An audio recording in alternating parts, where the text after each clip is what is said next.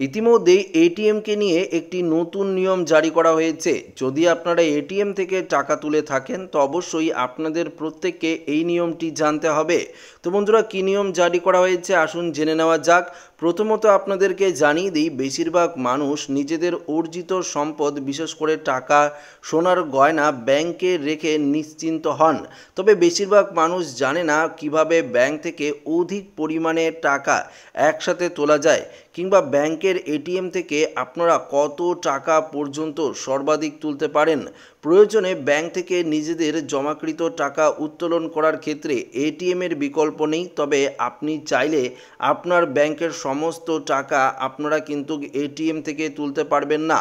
এর জন্য কিছু নির্দিষ্ট লিমিট রয়েছে, যেমন কোনো ব্যাংকের ক্ষেত্রে চল্লিশ হাজার টাকা এবং কোনো ব্যাংকের ক্ষেত্রে পঞ্চাশ হাজার টাকা পর্যন্ত।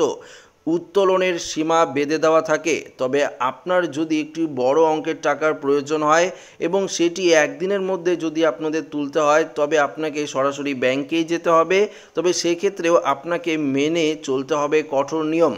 যদি আপনি কুড়ি লক্ষ টাকার ওপরে টাকা তুলেন সেক্ষেত্রে আপনাকে বিগত তিন বছরের আয়কর দেখা হবে। নতুবা আপনার উত্তোলন করা টাকার ওপর দুই শতাংশ টিডিএস ধার্য করবে ব্যাংক। যদি এই টাকার পরিমাণ এক কোটির বেশি হয়, সেক্ষেত্রে টিডিএসের পরিমাণ কিন্তু পাঁচ শতাংশ দাঁড়াবে।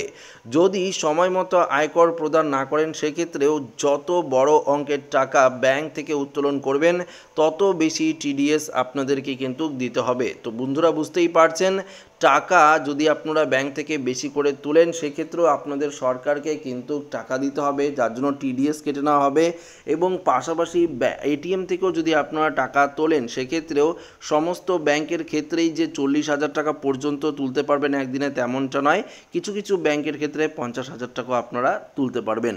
এবার অবশ্যই কমেন্টে জানাবেন যে আপনাদের এটিএম কার্ড রয়েছে কিনা এবং আপনারা এটিএম থেকে টাকা তোলেন কিনা।